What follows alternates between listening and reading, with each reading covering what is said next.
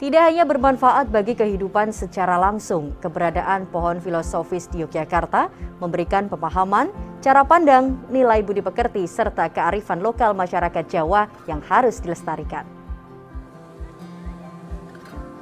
28 November 2021, bangsa Indonesia memeringati Hari Menanam Pohon. Sejumlah elemen masyarakat memeringatinya dengan cara berbeda-beda. Salah satunya melakukan penanaman pohon di bumi perkemahan di Waruci, kawasan Pantai Samas, Bantul, Yogyakarta. Bukan pohon biasa. Kali ini pohon yang ditanam merupakan pohon yang memiliki makna filosofis bagi masyarakat daerah istimewa Yogyakarta. Selain menjaga lingkungan, penanaman ini juga turut menjaga kebudayaan karena keberadaan pohon filosofis seperti pohon bodi dan kepel yang ditanam di lingkungan Keraton Yogyakarta ini menjadi simbol yang dapat memberikan pembelajaran positif bagi generasi muda.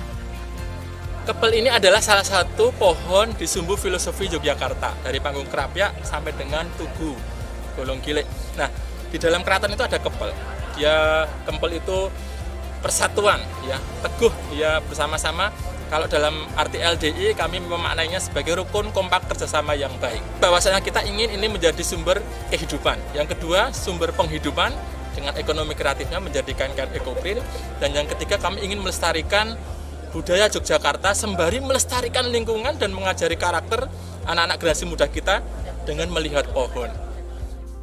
Tidak hanya mendorong pelestarian keanekaragaman hayati khas Yogyakarta, dengan melestarikan tanaman-tanaman tersebut, Penanaman pohon filosofis juga mengenalkan dan memberikan pemahaman cara pandang, nilai-nilai budi pekerti dan kearifan lokal masyarakat Jawa kepada generasi muda. Demikian Herdian Giri dan Doni Rahmat melaporkan.